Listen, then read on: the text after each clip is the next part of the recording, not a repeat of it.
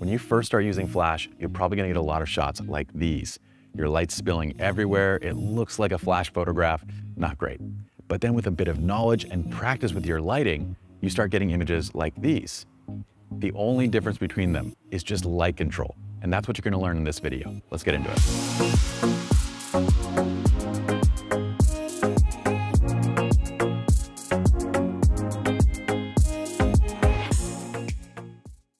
Friends, as my dad says, let's not beat around the bush. Let's get straight into this. Look, I want you to have three takeaways from this video.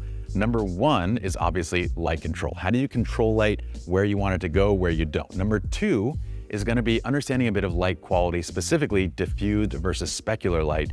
And number three, well, we're gonna work our way to this final image. Now I'm gonna introduce you to Kiara. This is our lovely model and one of my friends, and we'll link her up so you can give her a follow. And the overall set. We're in studio today, not because these are techniques that you need to use in the studio, because these are all techniques that I use on location, that I want you to use on location. It's very practical stuff. We're in the studio because I wanna have an equal comparison. I want you to be able to see exactly what every modifier is doing throughout this process. As far as the setup goes, in this bat-like configuration, we have a Profoto A10. I'm gonna be using two off-camera flashes. I have the Profoto A10s, but honestly use whatever you would like is gonna be totally fine. We're starting with this butterfly light configuration so I can get a good light pattern that we can make comparisons against, okay?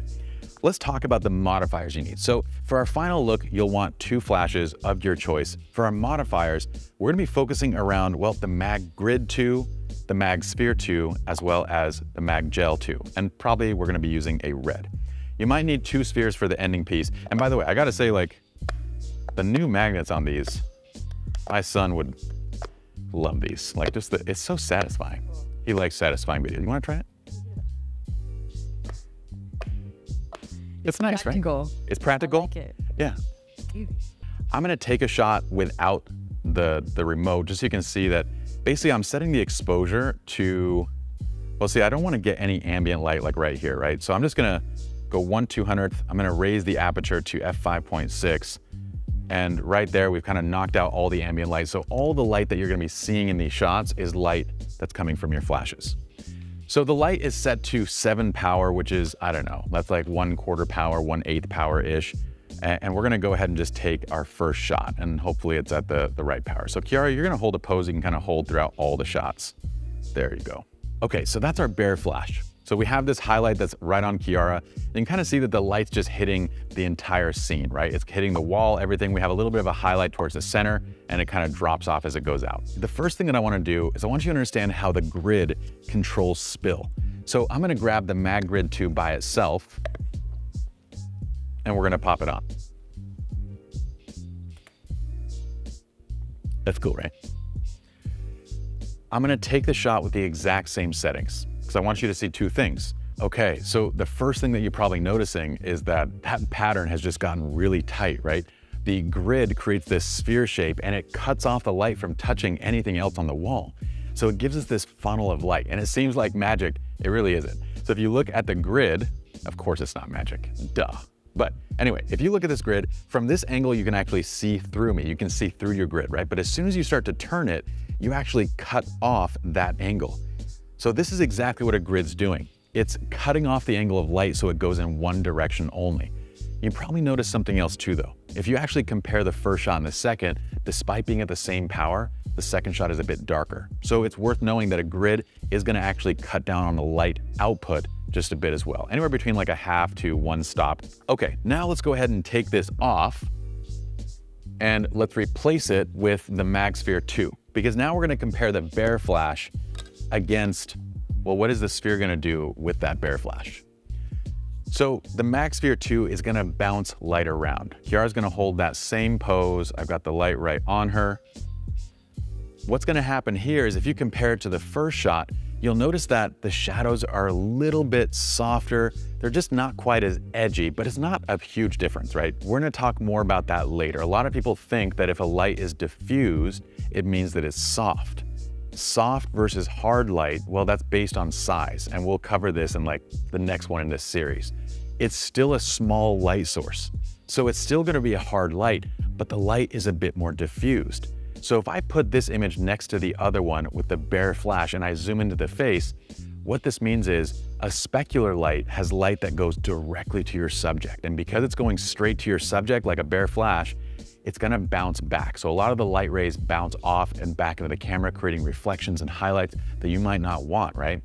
Whereas a diffuse light bounces around. So it's bouncing around the MagSphere 2. And basically, because it's bouncing around before it goes to our subject, less of that light bounces back into the camera and we get a more diffused light source. So it's a bit more pleasing. And also, if you zoom out on those images just a bit too, you'll see that the shape of that light, the pattern of the light is a bit more pleasing too with the sphere in place. But now I wanna get to an awesome combo. One of my favorite combos, and you'll see MagMod users all over the place doing this, is they're gonna grab the Mag Grid 2 and they're gonna pop it underneath the Mag Sphere. So let's do that. And you might think that, well, is that really gonna actually do anything? Absolutely. What's gonna happen is the light's gonna get funneled forward. You know what? I'm just gonna show you. Okay, let's take that same shot. This time I'm one stop higher in power. So the grid with the mag sphere now, we get a completely different look, right? If you compare this, well, with the sphere, what's happening is that it's making that grid pattern more pleasing. But the grid is still funneling light forward, so we still get kind of a tight light pattern, but that circular shape is so much better. That pattern is so much nicer. So the sphere is not only diffusing the light a bit, it's also making it more pleasing. Now let's put it all together and go for that final creative shot. Through the power of editing magic, I'm gonna break down this entire set because this was just for demo purposes. This isn't the practical setup that I would actually use. Okay, these are the typical stands that I'm using on location. This is a Manfrotto Nano stand. We're gonna place that here for right now because I actually wanna get the background light the way that I want first. And what I think is a really fun effect, you can do this pretty much anywhere that you have a plain wall, is we're gonna create a sort of semi-silhouette shot. I'm gonna start actually with the background light. I usually like to get my background looking the way that I like it to, and then go from there. So grab your flash, grab a mag gel of whatever preference in terms of color, it doesn't matter. I'm gonna use red, because I kind of dig the vibe. So this is where I'm gonna grab a second mag sphere 2 I can sort of create a graduating pattern of light going across the frame. I'm gonna adjust the position of this just a little bit so it kind of hits a little bit more of this wall. We're gonna pull it back a little bit. And I'm kind of angling it so the right side almost kind of hits Kiara a little bit, creates a little bit of like an edge on her. Oh, I dig it. See that right side edge I love, and it kind of like hitting the wall and sort of trailing off to that side. You'll notice how the curve of the wall kind of creates a, a separate tone. If you don't like that, you could always just raise the flash up, but I'm okay with it. Let's get the main light up now. And with the main light up, we're gonna practice our new light control techniques. So the first thing I'm gonna do is I'm gonna show you like, well, if we kind of light from this side, since she's sort of looking towards this side, if I position the light there and I take the shot, without a modifier on it, then a lot of that flash ends up bleeding into our background, right? This is the issue with without using light control. Without using light control, our light's spilling all over the place. So I'm gonna go ahead and put that grid plus sphere combo onto it. And I'm just gonna show you the difference right there. I'll raise it up a stop just so we have a little bit more power since our light's gonna drop a little bit in power with that combination. So now it's at one quarter power.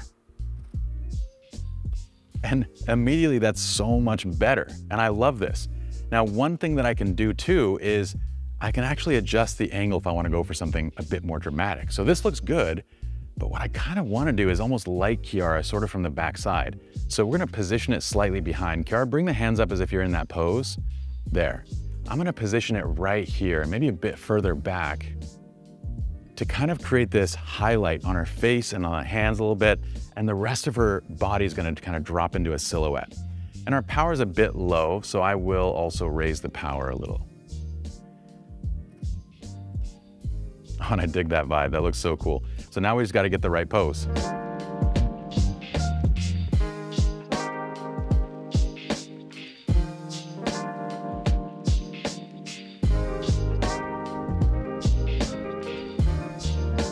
That's it for this video. We're gonna link up all the gear and the modifiers that we use in the description of the video. On top of that, if you guys have any questions, thoughts, what you guys wanna see in future tutorials, comment below. I read all your guys' comments and I get a lot of great ideas from them. So I'm gonna get back to shooting what I wanna shoot now. We'll see you guys next time.